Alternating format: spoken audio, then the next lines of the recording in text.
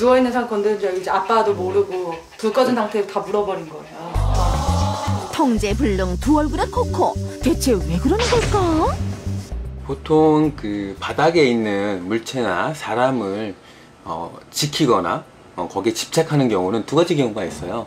어, 소유의 개념과 그다음에 그걸 지키려고 하는 방어의 개념이 있는데 다시 말해 사람이 아닌 물체를 지키면 자신의 것 소유물을 지키는 행동이고 만약 물체는 지키지 않고 오직 사람만 지킨다면 보호 방어의 행동으로 볼 수가 있다는 것이다.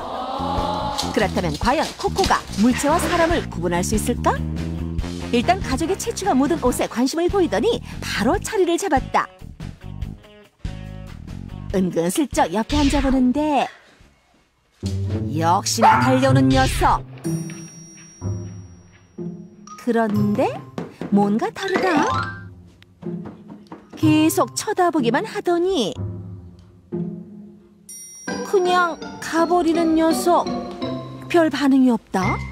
지키기 위해서 집착한다기보다는 어, 자기보다 못한, 못한 존재를 보호한다는 어, 방어적인 개념이 더 강하다고 봐요. 코코에게는 누워있는 사람이 바로 약자. 그래서 녀석은 약자를 보호해주기 위해 그동안 그렇게 애를 썼다는 것. 안녕하세요. 코코의 행동 교정을 위해 전문가가 나섰다.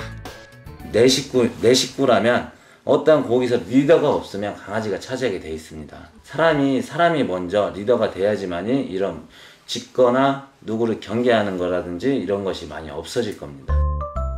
코코의 행동을 교정하는 첫 번째 방법은 이 생각의 방. 나가.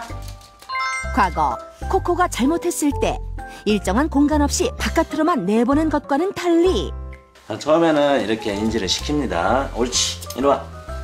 하우스. 옳지. 정해진 장소를 만들어서 이 안에선 무조건 복종하도록 만든 것인데 코코 하우스. 한번 기다려. 명령을 할 때는 강한 어조로 서열을 인식시켜주고. 훈련을 잘 받으면 옳지. 옳지 코코 잘했어. 기다려. 조금씩 칭찬해주는 센스까지 네. 그럼 이제 좀 괜찮아졌을까? 누워있는 사람에게 다가가 보는데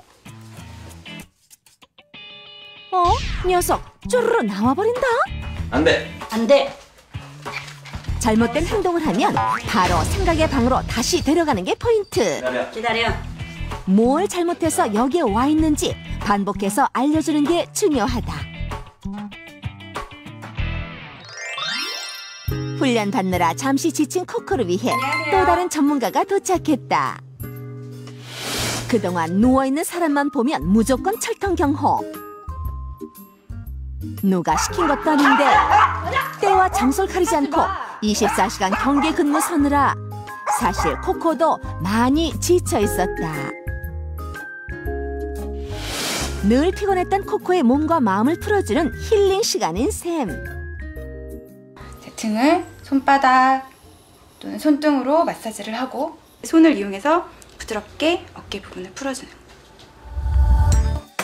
주로 경직돼 있던 어깨부터 풀어주고. 네 편하게 아주 아픈 손길 좋아하고 있어요. 등에 허리까지 구석구석 만져주니 코코도 편안해졌는지 스르르 눈이 감긴다. 코코 하우스. 들어가 들어가. 기다려. 몸이 가벼워지니 훈련도 가뿐하게 해내는 녀석.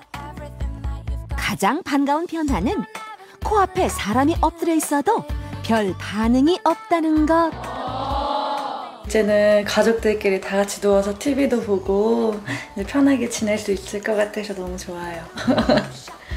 코코야, 이제부터는 편안한 마음으로 가족들 곁을 지켜줘.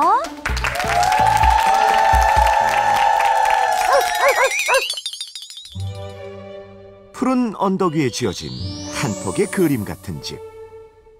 오늘 이 아름다운 저택에서 펼쳐질 이야기의 주인공은 이들 선남 선녀 부부가 마치 자식처럼 애지중지 보살피는 동물들이라는데. 아유 예뻐라. 얘들 소개 좀 부탁드릴게요. 아유. 얘는 진이라고 저희가 키우는 고양이에요. 네, 요번에